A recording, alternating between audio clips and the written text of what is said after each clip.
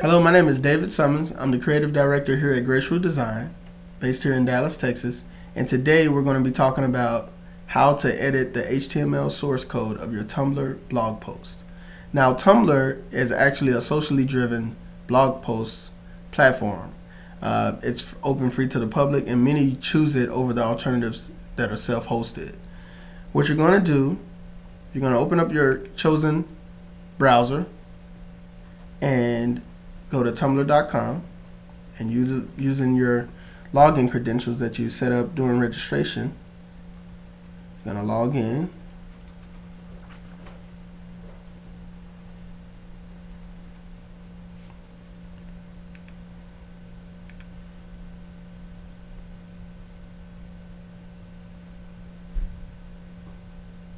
Once you're logged in, you should see your dashboard interface. In the right sidebar, you should see a listing of all the blogs that you have and more specifically the post. You're going to select the post option which should bring you to a section where all of the posts that you've made to date or created to date will be shown. You're just going to simply select the post that you want to edit.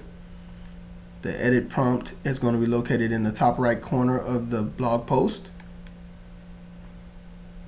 And it will actually bring you to what's called the visual text editor. It's a WYSIWYG interface. Now here you can actually visually see what's being displayed on the blog. Now in the top toolbar located right here the last option to your right will be HTML you're going to select that and it's going to bring up a window displaying the HTML source editor here you'll find all of the HTML that is located in the blog post that you're editing at this particular time.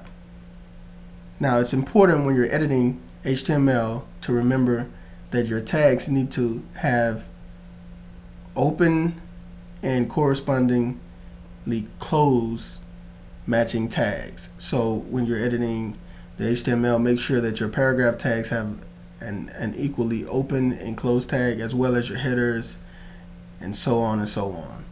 Um, let's go ahead and do a little bit of HTML editing here. We're going to create a new header within the post itself. Now you can cut and paste any code that you need. You can also, as I'm showing you here, you can actually write the code.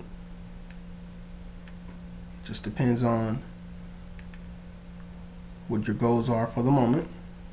We're just going to create a quick header tag here.